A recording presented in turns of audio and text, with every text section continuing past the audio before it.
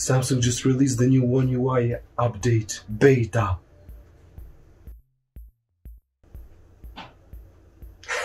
Joke's on you, I have the SIM cards of every country in the world. Fuck! Look at this guy.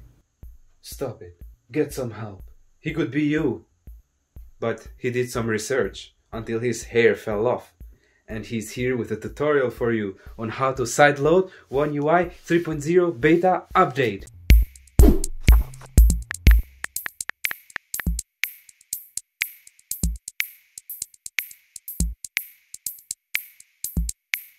Hi there pros, my name is BredzPro and I'm here back with another tutorial.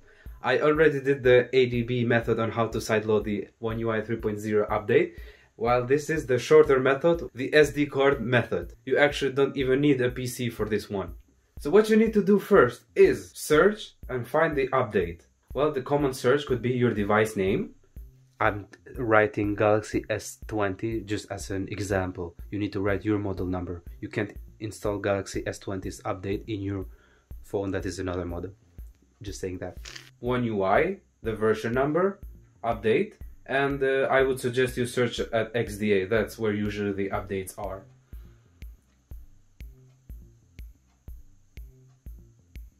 What are these scary numbers now, you may say, and characters? Well, if you want to go from this to this, you must have this build. Well, what is the build you may say? Well, you can find your phone's build at settings, about phone, software information, and these four characters and numbers are your build number. If your build number is the same as the one at the forum, well, you're good to go. But download the file that shows up. Then go to your file explorer of choice and move this file at your SD card. What you do next is then rename the whole file with the file extension to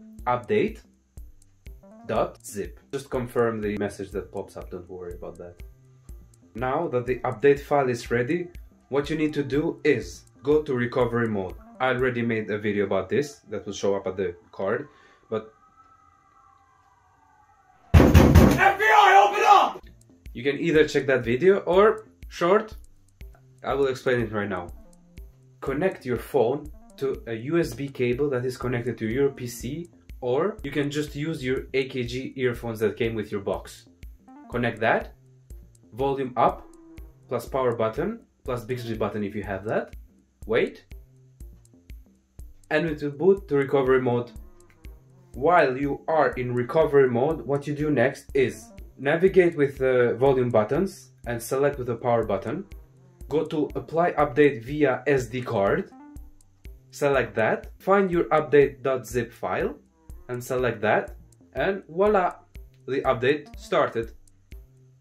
Just wait for these scary terminal characters to finish their job. Well, if you reach the screen, well that means the update was successful. Just wait for your phone to boot up now.